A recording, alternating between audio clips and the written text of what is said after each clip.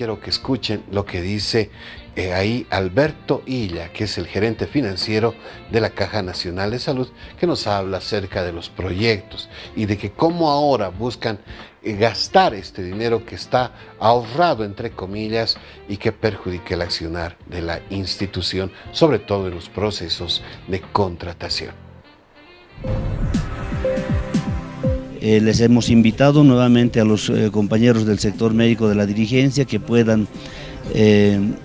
coadyuvar para que puedan participar en la reglamentación. Les hemos invitado ya anteriormente, lo volvemos a hacer para que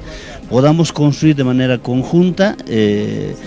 nuevos horizontes para la Caja Nacional de Salud. ¿no? Ese es nuestro propósito, ese es nuestro interés y bueno, estamos prestos siempre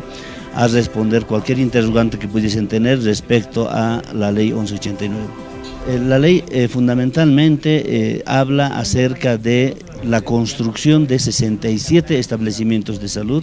a nivel nacional. Estamos planteando 10 establecimientos de alta complejidad en diferentes administraciones, en La Paz, en, Sucre, en oncológicos en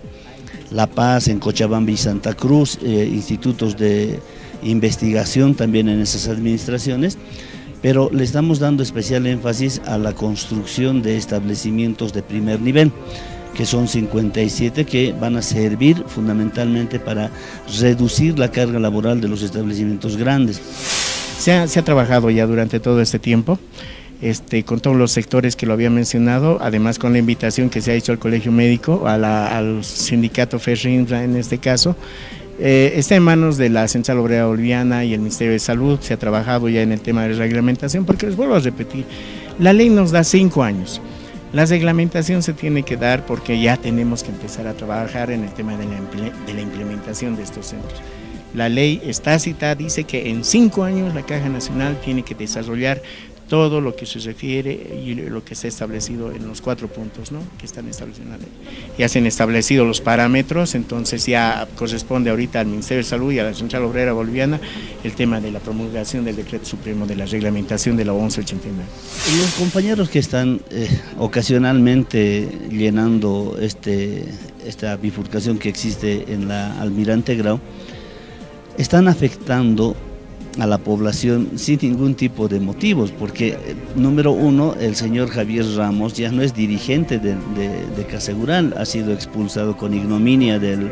la Central Obrera Boliviana, ha sido expulsado de la Federación eh, de la FENSEGURAL, que es la institución, o más bien el ente gremial que agrupa a todos los eh, trabajadores de, administrativos no tiene más fuero sindical porque ha salido ya la resolución ministerial por el cual le están alejando de la comisión que él gozaba.